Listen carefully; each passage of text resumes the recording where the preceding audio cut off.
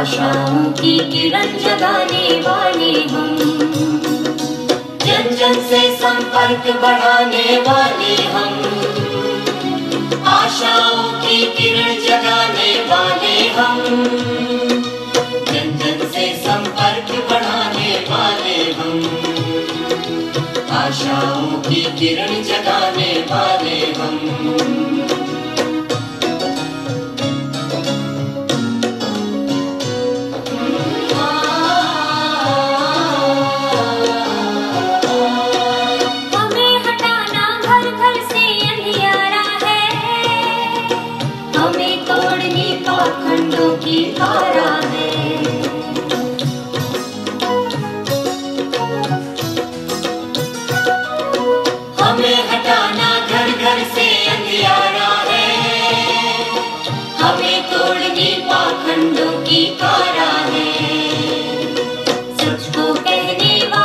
चलती रहे कलम।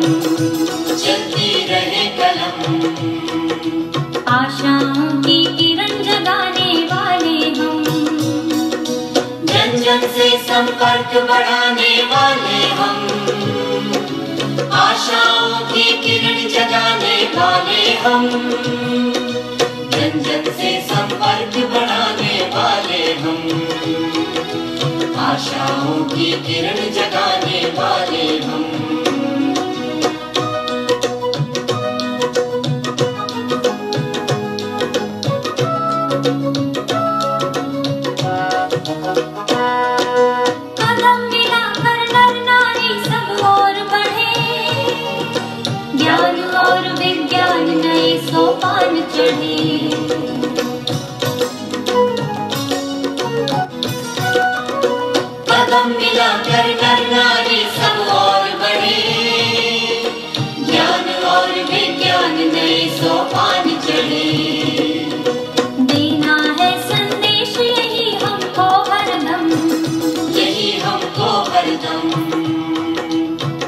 आशाओं की किरण जगाने वाले हम।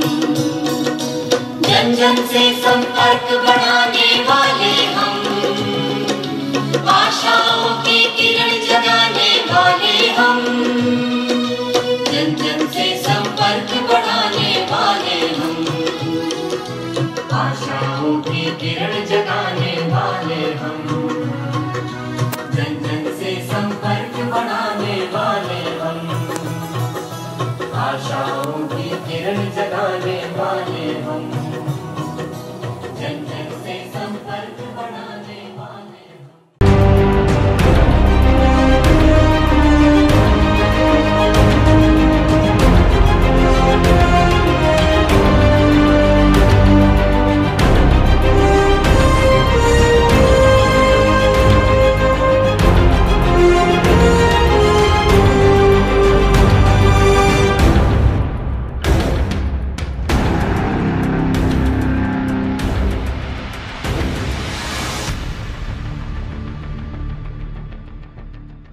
Hi, I'm Professor Surbhi Dahiya and I head the journalism department at the Indian Institute of Mass Communication.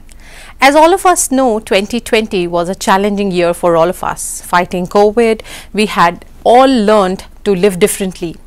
We were, uh, you know, busy boosting our immunity, wearing a mask, maintaining a distance of six feet, sanitizing our hands, and fighting COVID. And when the going got tough, it was really important to stay positive. So, you all are media students and you must know everything about the media industry in India and how it functions. Even during the COVID times, um, the lockdown, uh, you know, and the other uh, uh, problems that the journalists faced, the Indian media and entertainment industry kept providing news and information to all the viewers without letting fear affect them in any manner. So, from that perspective, today I will discuss about the media industry in India and just update you the impact of COVID on the different segments of Indian media and entertainment industry. Friends, we have many media reports coming daily, but uh, today let us analyze the media and uh, industry size and the trends as per the FICCI EY report of 2020, playing by the new rules, and analyze the ongoing trends in the media industry. I will discuss the size of the different segments and the changes, rather, the big shift that the industry has gone through. Every segment of media and industry, whether it is TV or radio, print, digital, etc., has actually redefined itself. Experts say that several digital trends accelerated their trajectory, fed by growth in broadband, personal devices, and smartphone televisions. 2020 saw demand patterns shifts as consumers actively sought alternatives. And they had all the time during the covid and the lockdown to try new things. So digital media adoption accelerated as it was aided and supported by the growth of digital infrastructure. Consequently the consumption patterns also shifted and increased across online news, gaming, and entertainment sectors. As the new demand side patterns emerged, so the media and entertainment businesses they had to accelerate some of the changes that they had started to relook at their customers and the engagement models. Today, content creation and storytelling are very diverse and they come from all parts of the country as experts say. But business models are changing majorly from B2C to D2C, that's direct to consumers. Basically, new distri- distribution models and monetization strategies are also evolving across both large and small screens. So, the supply side transformed as you know the media and entertainment companies they took the opportunity to reinvent themselves appointment viewing on television news uh, gamification on e-commerce apps circulation transformation in print companies, short videos on OTT platforms, whether it is Netflix or uh, you know Hotstar, interactivity and brand solutions from radio sector. They were some of the many you know strategic shifts that were seen in 2020. This era will be defined by a segment agnostic media landscape which focuses on direct to consumer that's D2C products and differentiated techniques for acquiring, retaining and you know transacting the D2C relationship. So, the traditional media companies are compelled by this segment agnostic media landscape to redefine themselves according to the evolving demands of the consumers. For example, in efforts to build end consumer platforms, traditional broadcasters are modifying themselves as content producers in the new media platforms and they are playing their bids on it. So, newspaper companies have also acquired new strategies to create content in audio and video formats and serve the needs of their communities through transactions and classifieds. D2C platforms have been launched by the content production houses and telecos. So, D2C has emerged as the latest parameter to decide a media brand's worth and standing in the market. These changes are driving a shift in monetization of content investments. The Indian media and entertainment sector um, according to the FICCI report, fell by 24 percent to INR 1.38 trillion, which is equal to US dollars 18.9 billion. In effect, taking the revenues back to 2017 levels. And this fall is around INR 439 billions. The last quarter of 2020 showed a marked improvement in revenues for most segments and it is expected that you know M&E sector will recover around 25% in 2021 and will reach around 1.73 trillion. And then it will also grow at a CAGR of 13.7 uh, you know billion by 2023. While the television segment remained the largest segment, digital media overtook the print and online gaming overtook the filmed entertainment segment, which was really disrupted in 2020. So let us analyze the INR 439 billion fall in the media and entertainment industry. Digital and online gaming were the only two segments which grew in the last year during COVID. And it added an aggregate of INR 26 billion and consequently their contribution to media and entertainment sector increased from around 16% in 2019 to around 23% in 2020. Other segments, as I just said, uh, you know, fell by an aggregate of INR 465 billion. The largest absolute contributors to the fall were filmed entertainment segment around 119 billion, the print sector 106 billion, television sector 102 billion. The share of the traditional media, television or print or filmed entertainment or OOH or radio or music for that matter, it stood at around 72% of the M&E sector's uh, revenues in the last year regarding GDP. While the media and entertainment sector usually grows faster than GDP, it also falls more than GDP degrowth given in the discretionary nature of the advertising. And this time the sector fell three times the national, uh, you know, India's nominal GDP fall. So in 2020, when the GDP fell by around 8%, advertising fell around 25%, while the sector overall fell by 24%.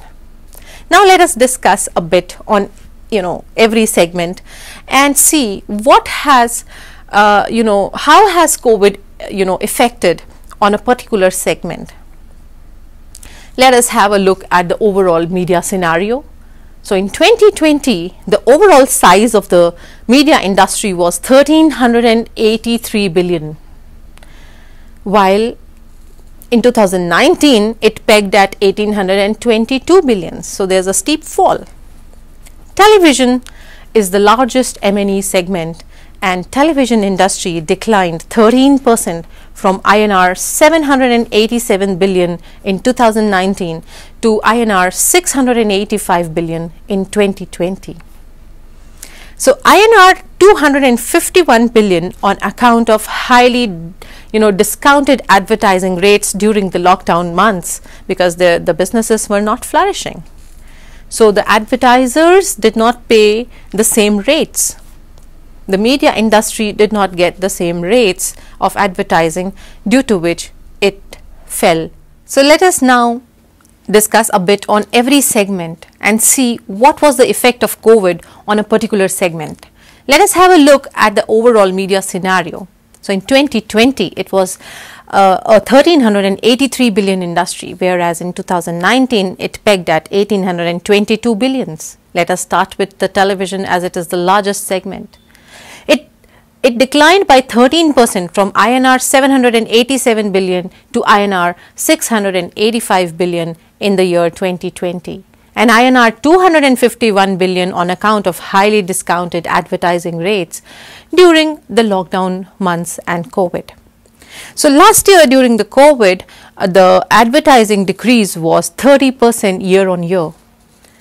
The people did not have their regular businesses and they could not pay the regular advertising rates to the media industry. Hence, the largest segment in India faced one of the biggest falls in advertising. Subscription declined 7% to INR 434 billion due to the continued growth of free television, reverse migration, and a reduction in ARPU, that's average revenue per user, due to the part implementation of NTO 2.0. Regional channels received around 27% more ad volumes than the national channels in 2020. Major sports leagues got postponed, but IPL provided a much needed revival push in the sports viewership. Smart TV sets crossed the 5 million mark and grew their base by around a million homes. With people spending more time indoors, the overall time spent watching television increased by 9% over 2019. The television channel reach also increased during this period. And uh, you see there was an increase in the number of uh, news and non-news channels overall. Television segment revenues they are expected to grow at a CAGR of 7% to reach INR 847 billion in the next 2-3 years. Driven by the increased base of subscribers as households continued to get televised. So growth will be driven by connected TVs which could cross 40 million homes by 2025 and free television could cross 50 million homes by then, thereby making core television a more massified product. The smart television will usher in an era of connected viewing which will enable viewers to interact with each other as well as the broadcaster through the content. The importance of regional and sports programming will also increase. It will drive up both ad rates as well as end consumer package pricing subject to the regulatory actions. So this was about the television segment. Now let us discuss about the digital segment, the digital media which has made its place replacing the print media. Earlier the print media was at number 2 and uh, now the digital media due to the coronavirus has picked up pace and has come to the number 2 position. So as per the FICCI and EY report to, to 2020, uh, digital media grew by 6.5 percent to reach INR 235 billion and it is expected to grow at 22 percent CAGR to reach around 425 billion by 2023. So, digital subscription grew 49 percent in 2020 to reach INR 43.5 billion as per the report and as the pandemic uh, you know and the consequent lockdown reduced fresh content on television online sports went behind a paywall IPL went behind a paywall and the pandemic forced much of the population for longer periods indoors. Subscription revenues, if you talk about subscription revenues, which was around 3.3 percent of the segment in 2017, had increased to 19 percent by 2020. Paid OTT subscriptions crossed 50 million for the first time in 2020. This is also courtesy COVID and the lockdown because people, you know, you, you see your kids, you see your siblings, they're all subscribing to paid OTT platforms and a parallel screen. So, digital advertising stayed almost stable due to the increased allocation of ad spends by advertisers who accelerated their investments in digital sales channels. SME advertisers continued to increase their spends on digital advertising and experimented more with online e-commerce platforms. Internet penetration, if you talk about uh, in India, it increased 11 percent and it reached around 795 million of which 747 million had broadband access. 45 percent of India's population over the last 15 years of age um, had you know access to a smartphone. So, Indians spent 4.6 hours a day on their phones increased data consumption by around 15% over 2019 and aggregated 450 million online entertainment consumers in India. Advertising remained flat in 2020 despite a fall in the April to June quarter as several categories increased their spends on the digital medium as they expanded online sales channels subsequently. E-commerce advertising also achieved scale and it reached around 35 billion.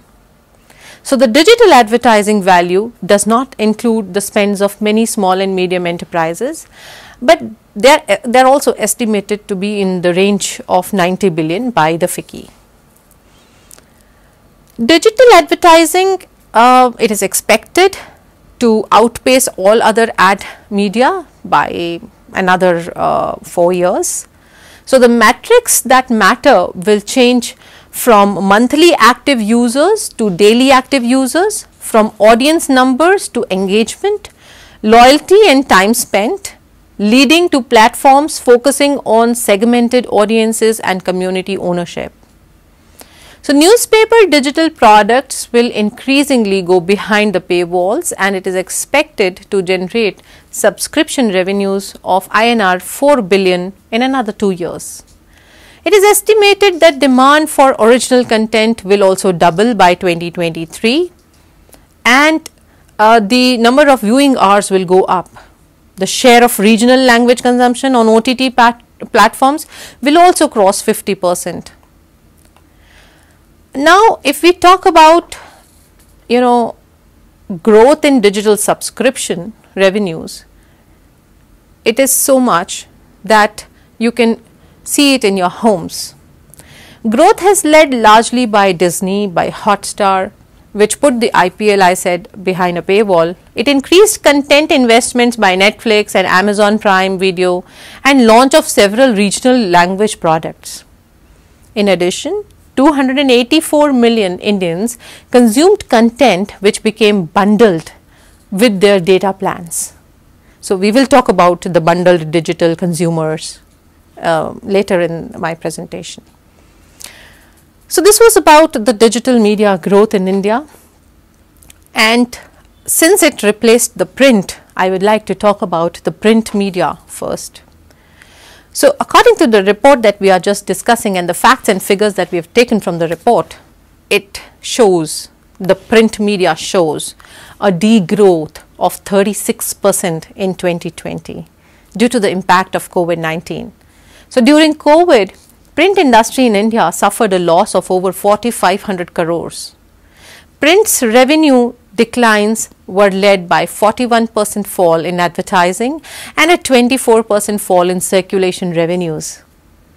English language and metro newspapers were hit harder and they struggled to get back their circulation post the pandemic while regional language newspapers recovered a larger portion of their lost circulation.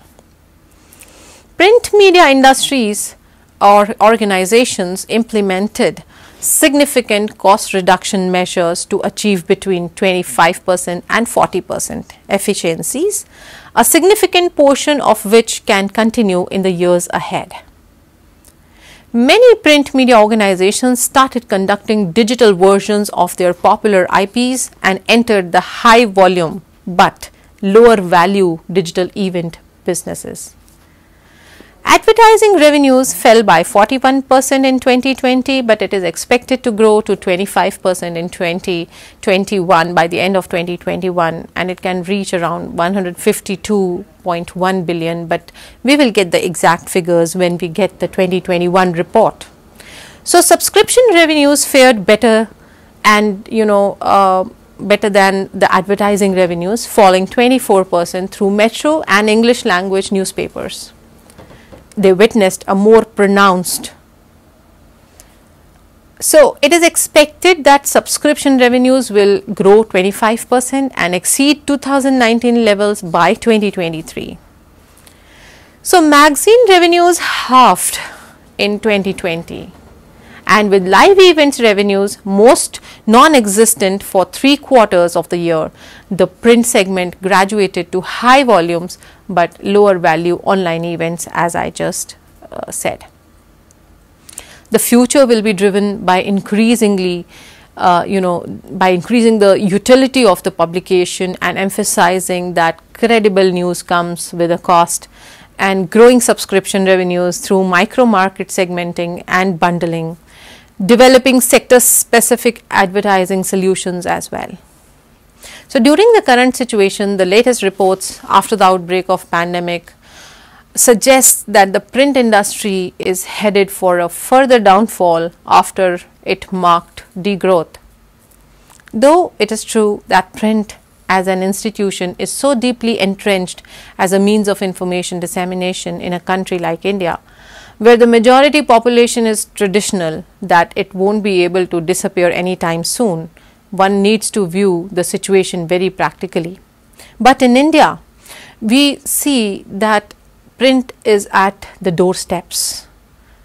You know, all of us maybe uh, stopped subscribing to the print uh, newspapers during the COVID times, due to which it suffered a loss of 4500 crores. But gradually, people who are loyal to the print industry and those who are habitual of reading the newspapers, they have revived and uh, resubscribed to the newspapers. So, the Indian Newspaper Society INS, which represents almost 800 newspapers in India, mentioned in a dispatch to the government about the ongoing losses in the print industry, it pegged at 4500 crores. So, it included a plea for coming up with a stimulus package in the face of collapsing advertising and finance, without which the print industry could fall uh, and you know face losses of up to 12,000 to 15,000 crores.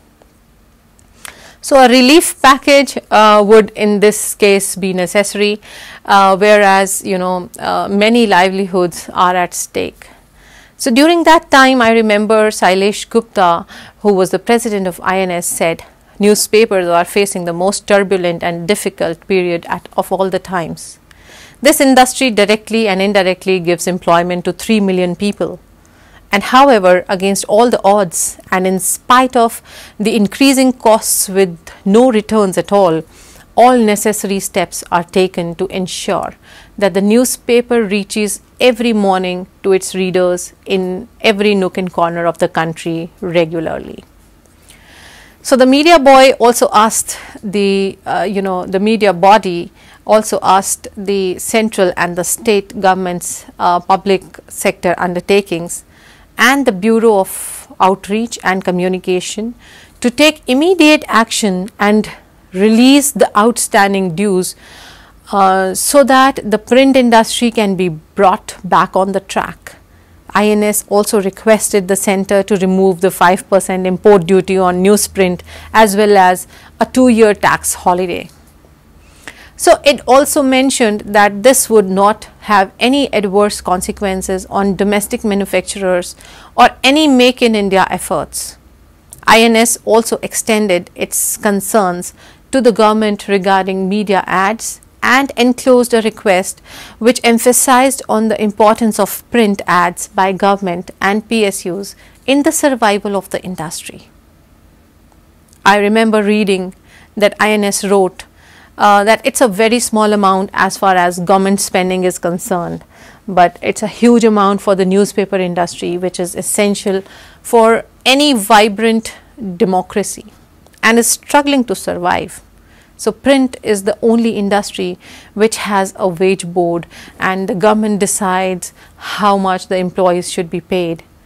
So, this being the only industry where market forces do not uh, decide the salaries, the government has a responsibility towards the industry. Though in Indian scenario, uh, we do not actually stick to these, uh, you know, uh, wage boards and uh, media organizations are, are the deciding factors sometimes. It is looking at a 200 percent increase in the budget spend for print media, which can be one of the last saving graces of the print medium. So, transformation in the print segment is expected to be in the areas of product realignment, revenue transformation, cost intelligence and digital demarcation. print will need to focus on growing reach in its existing markets through a combination of identifying new micro markets which are you know uh, uh, forging uh, you know bundled deals with direct to consumer aggregators like television or OTT platforms or e-commerce platforms. Significantly more industry level shared services initiatives are expected to ensure the cost efficiencies.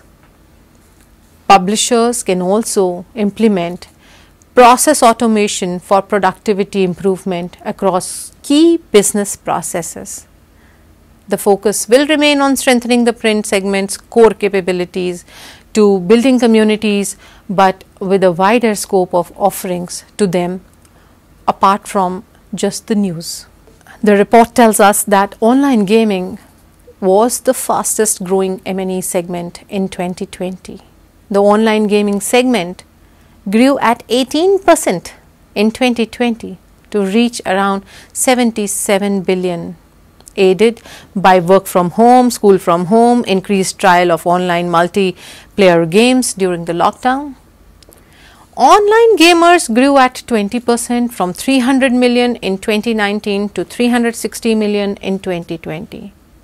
And the transaction based game revenues grew 21% on the back of fantasy sports and others, uh, you know, casual gaming, uh, maybe rummy or poker and the revenues grew 8% led by in-app purchases.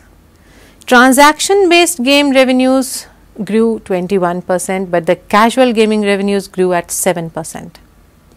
So, growth has witnessed across the paradigm from hyper local casual gaming to esports. Regulatory uncertainty needs to be resolved through policy clarity, for the segment to achieve its potential.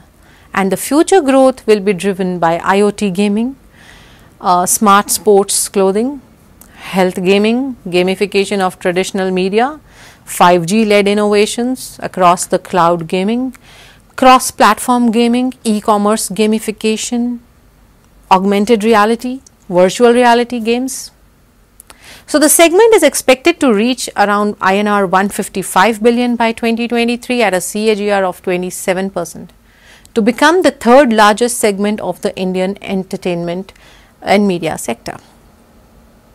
And gaming is going to be all pervasive and it will proliferate our lives. So, the segment will grow across all the verticals esports, fantasy sports, casual gamings and other games of skill because in our country the luck based gaming is not allowed digitally. But revenue growth will be led by uh, mobile based real money gaming applications across these verticals. So, a nodal agency is required to bring clarity in regulations as well as implement the responsible gaming guidelines and monitor areas like minor gameplay, security, data protection, content guidelines and training. For gaming, Fi Digital and Digicall models will uh, emerge in the times to come. Game led events and merchandising can help gaming uh, companies to seize the opportunity to increase the physical monetization from their audience base on the digital platform. With the growth witnessed in gamers, they will convert the new game developers which will enable them to play within their communities. So, new technology like AI, characters, cloud gaming, cloud computing and data science will increase player engagement and retention as well. Regional gaming will also provide a large opportunity. Globally, legal sports, gambling uh, have gone mainstream. Cloud gaming has already taken off Cross platform gaming has become mainstream and there is a significant use of data analytics. So, these are the facts and figures from the FICCI report about the four major sectors that are doing uh, you know well. Let us now come to films. While theatrical revenues plummeted to less than a quarter of their 2019 levels, a portion of this loss was made up through higher digital rights revenues, which almost doubled during 2020 to INR 35 billion. However, the stoppage in production for over six months had its impact, which will now only recover uh, you know once a healthy slate of films is made ready for the release and the fear of stepping into crowded places subsides. While the trend for direct to digital releases will continue, producers realized that the importance of theatrical releases for large scale film productions is also very very important. Next segment is animation and VFX so, what happened was that the stoppage of television and films content production for several months in 2020 resulted in a fall in revenues, while VFX and post production contracted 62% due to this. So, inability to conduct live shoots led to increased demand for animated content and consequently animation registered a growth of 10 percent.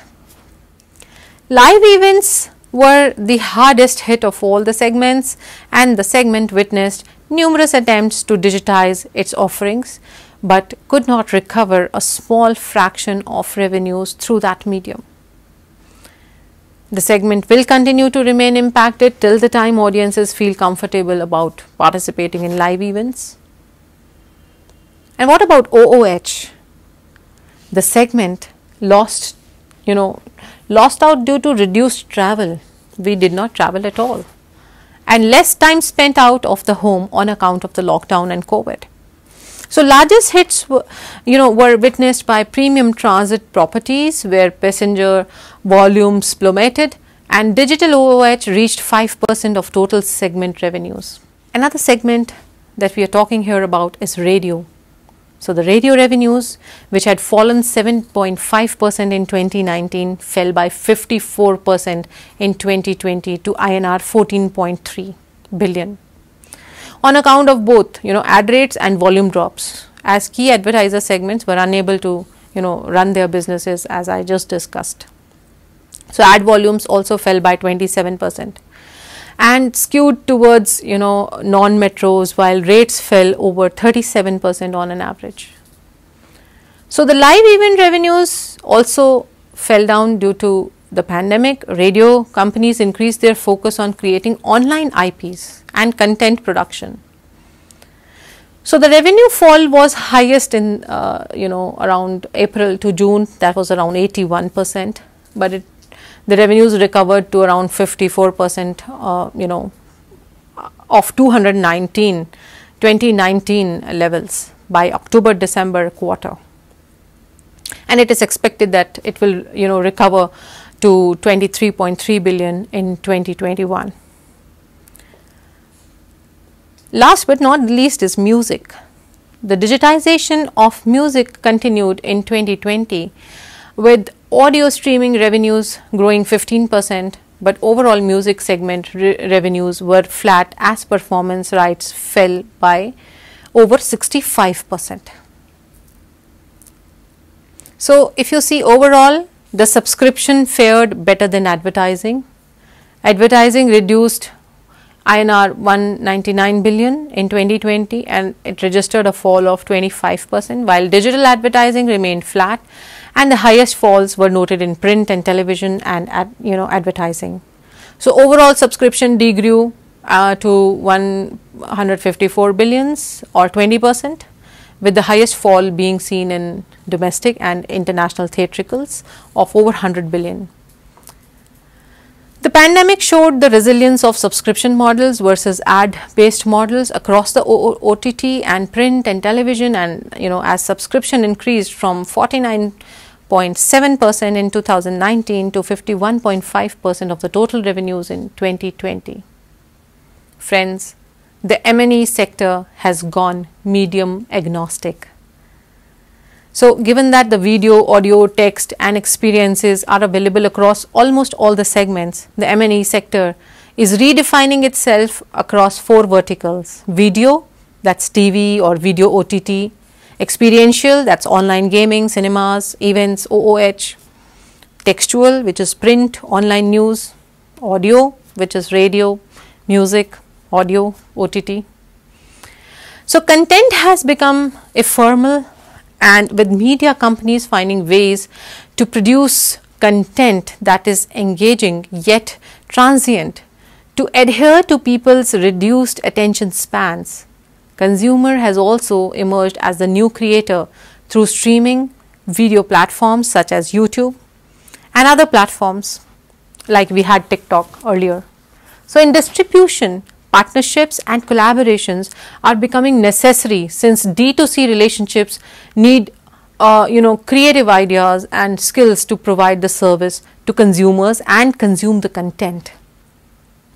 In this age, partnerships between telecos, content producers, devices and pay wallets will fulfill the required skills. So, if we analyze you know uh, the, all the media facts that we just you know discussed, this will impact greatly the reach and depth of data.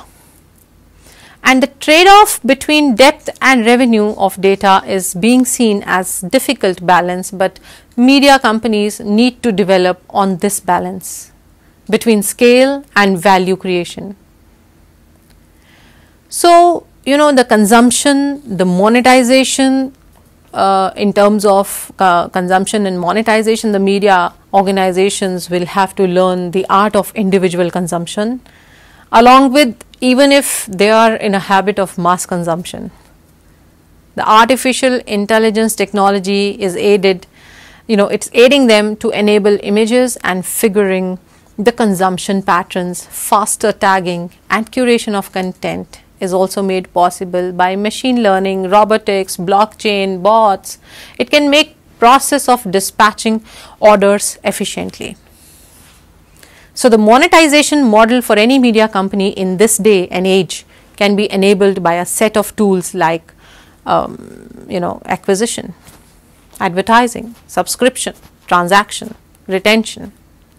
So, the available tools can be used as instrument in integrating to monetize the consumer relationship and going forward, the media companies in India will regularly come face to face with what should grab their attention first in the horizontal world.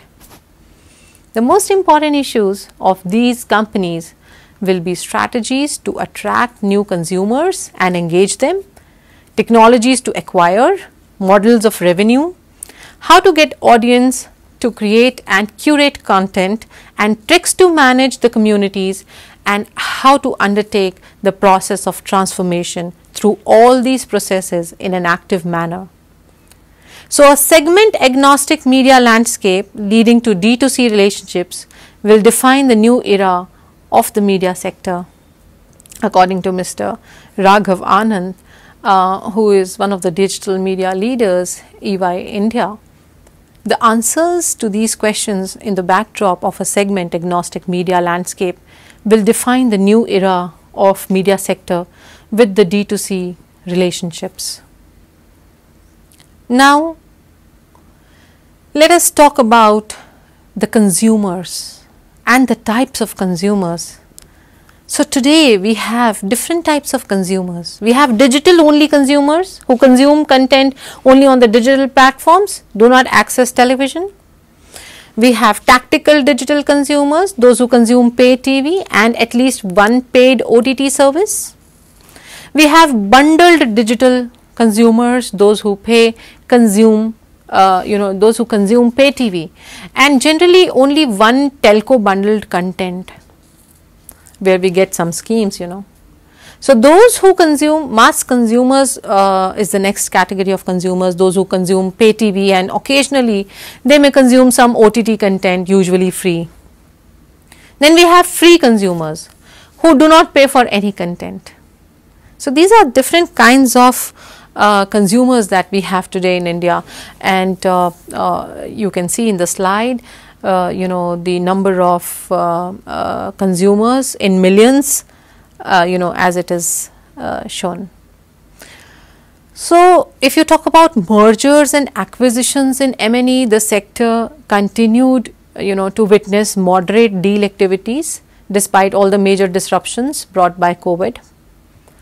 And although the number of deals increased from 64 in 2019 to 77 in 2020, the deal value reduced to 68 billion in 2020, which was higher in 2019, which was you know 101 billion. So this was largely due to the absence of big ticket deals, which only you know two deals crossing US dollar 100 million threshold as compared to four such deals in 2019.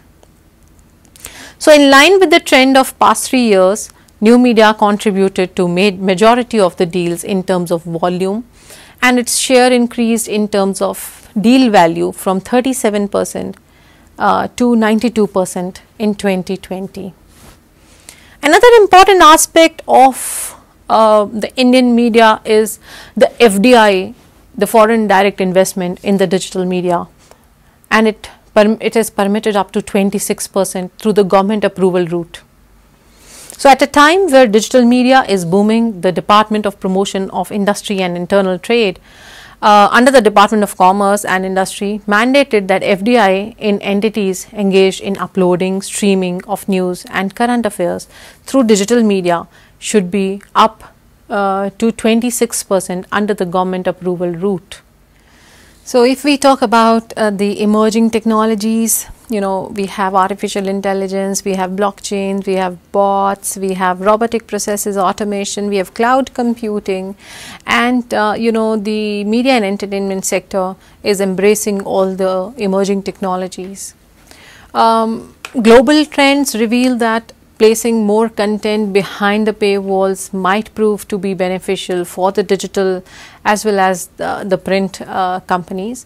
So, print players must also invest in new digital technologies which they are doing and platforms to create new monetization avenues for their audience and advertisers. They must also experience and experiment with AI, journalism and other technologies to enhance news production Publishers around the world are also making use of voice technologies like Alexa and various measures of restructuring and cost cutting initiatives are rolled out amidst the declining advertising and circulation revenues. So, the global opportunity for content creation is real and will reign during the upcoming years. In India, Netflix is set to invest uh, INR 30 billion in content to buy licenses and you know create over 50 originals and um, covering across more than 20 cities to shoot. So, a major shift is in its way that will change a lot in the industry which will uh, you know the change in the large uh, uh, to small screen ratio I would say. The change will occur as the connectivity of internet to smartphone screens will double to 750 million in about 4 years. So, concluding the ratio of the large versus small screen ratio to 1 is to 3. This will lead to an increase in demand for content across the short and interactive formats, which will further drive up content prices and ensure that content libraries are shared more. So, the demand for regional digital content will rise much in the non-metro markets. According to the experts, the radio and the print companies will benefit from this change as they will be able to provide required content to meet this demand.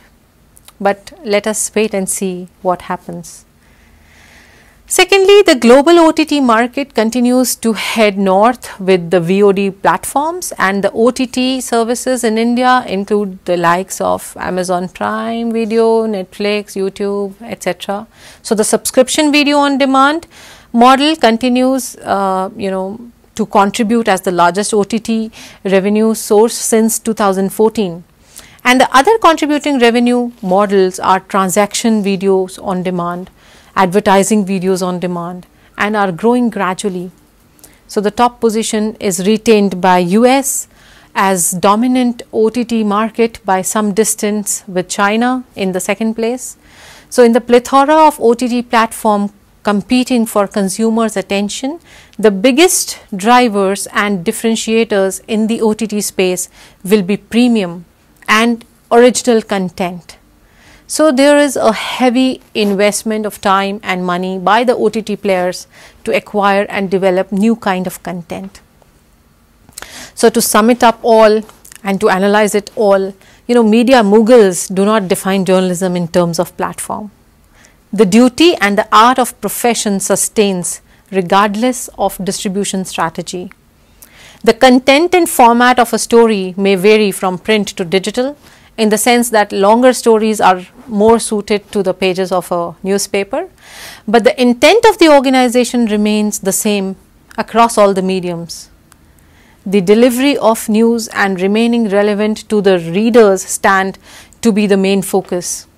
And the future vision of kickstarting a new upsurge of growth in the media industry is looking very bright Owing to the technological disruptions, fresh opportunities are being created for the competing players within the sector, and India is steadily heading towards a multitude of opportunities with the hope that the sector's key functionaries will innovate, restructure, transform their mass relevance to capture the newer markets and demographics with strategies that stem from sustainable business models and management perspectives. So thank you so much.